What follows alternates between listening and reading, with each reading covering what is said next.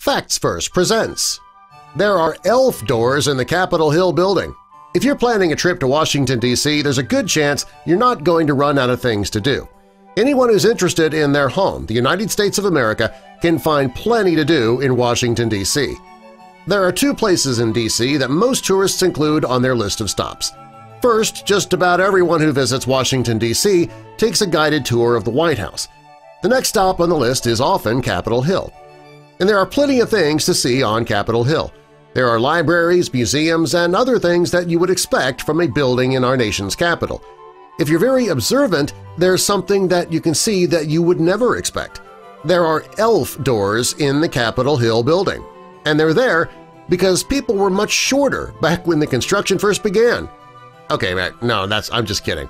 Since they're only a couple of feet high, though, and not even a child could walk through the door, what are they for? Well, there is actually a reason that these elf doors exist all around the Capitol building, and it has nothing to do with hobbits. People didn't think too much about these doors for years. Many people never even noticed them during the visits because they're located so close to the ground. Rebecca Rainey is a reporter for Independent Journal Reviews, and she took a tour of the Capitol building. When she saw the doors, she took photos of them and posted them on social media. She, like others, wondered what the doors were for. When she posted the photos, she didn't post the story behind them, just yet.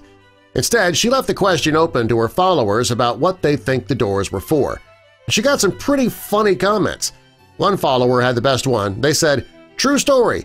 They had these doors installed for the Keebler elf. Now that he's not in the Senate anymore, who knows what they'll be used for. This comment's pretty funny since everybody knows who the Keebler elf is and that he's fictional and he has never been a senator. Well, after Rebecca read the hilarious comments she received, she decided to post the real reason behind the doors. Back on Christmas Eve, 1851, a fire ripped through the Capitol building. Back then, it was home to the Library of Congress. It was a place where all of the most historical documents and collections were kept. Thomas Jefferson was an author, and all of his most famous works were held there. Things from his own personal collection were also stored there, and when the fire broke out, it was devastating. John Jones was the security guard on duty that night.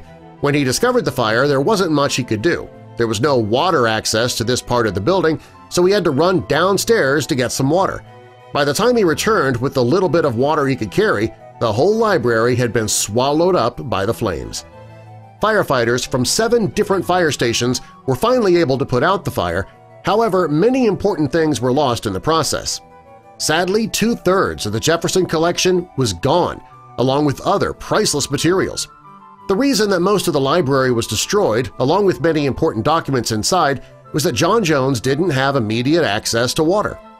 When it was time for the building to be repaired, the Army Corps of Engineers knew that they had to do something after hearing Jones' report of what had happened.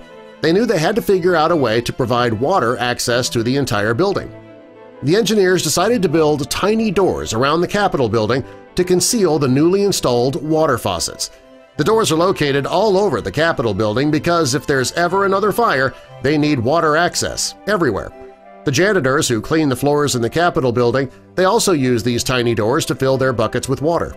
The real reason behind the tiny doors makes sense but it's not nearly as exciting as if the Keebler elf were a member of the Senate, and he used those doors to get to important meetings.